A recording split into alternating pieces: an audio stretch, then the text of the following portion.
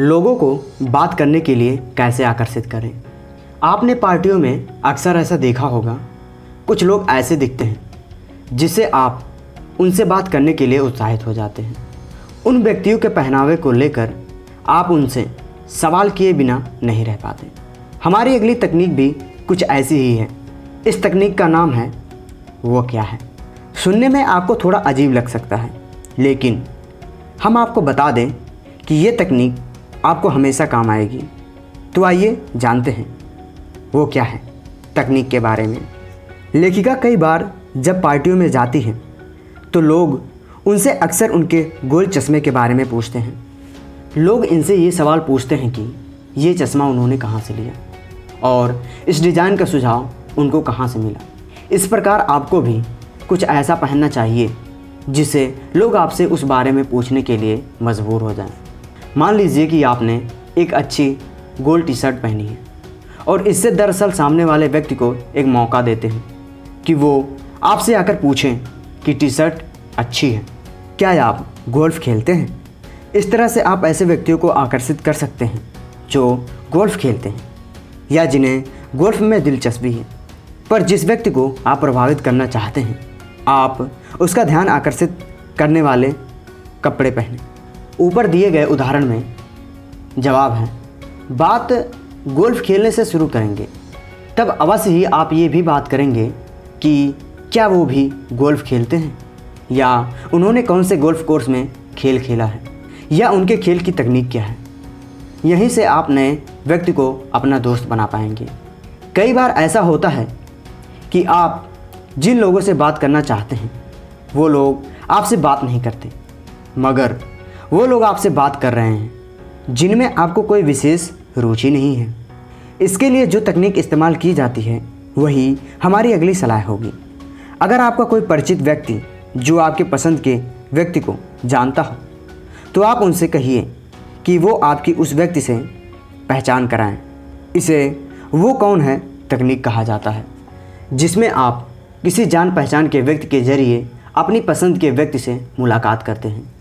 उसके बाद आप वो क्या है तकनीक का इस्तेमाल करके उस व्यक्ति से आप अपनी बातचीत को आगे बढ़ा सकते हैं। क्या वो, यदि आप जिस व्यक्ति से बात करना चाहते हैं, वो किसी समूह के बीच में हो, इसके अलावा उस व्यक्ति ने ऐसा विशेष भी ना पहना हो, जिससे आप वो क्या है तकनीक का इस्तेमाल कर सकें।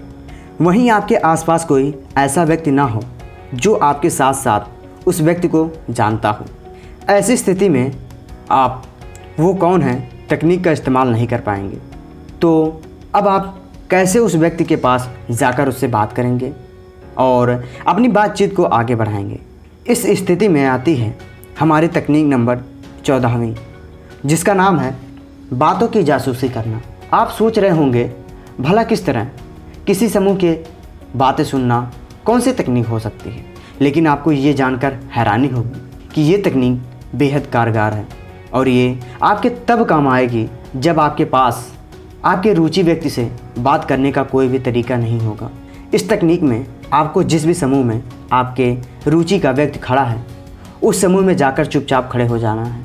इसके साथ ही आपको उनकी बातें सुनने की कोशिश करनी है और ये जानना है कि वो किस विषय पर बात कर रहे हैं। जैसे ही आपको कोई ऐसा विषय सुनाई दे जिसमें आप सहज महसूस करते हो, तब आप तुरंत ही उसकी ओर मुड़कर ये कहें कि, माफ़ कीजिएगा, मैं खुद को आप लोगों की बातें सुनने से रोक नहीं पाया।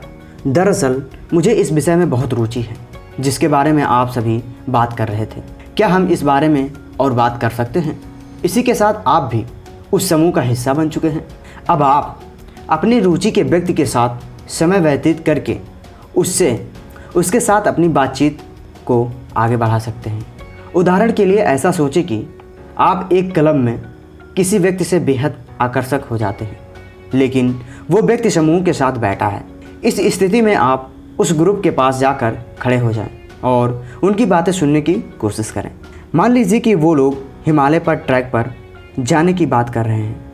उसी क्षण आप ये कहकर उनके साथ बातचीत कर सकते हैं कि माफ़ कीजिएगा, मैं अपने आप को आपकी बातें सुनने से रोक नहीं पाया। दरअसल, कुछ दिनों से मैं भी हिमालय पर ट्रैकिंग करने जाने का विचार कर रहा हूँ। यदि आप इससे संबंधित कुछ सुझाव देना चाहते हैं तो मुझे बेहद इसी तरह, आप लोगों की बातों की जासूसी करके इन तक पहुँचने का एक रास्ता निकाल सकते हैं, जो कि बेहद आसान, कारगर साबित हो। इसी के साथ समरी यही समाप्त होती है। मिलते हैं अगले सीरीज़ में। तब तक के लिए धन्यवाद।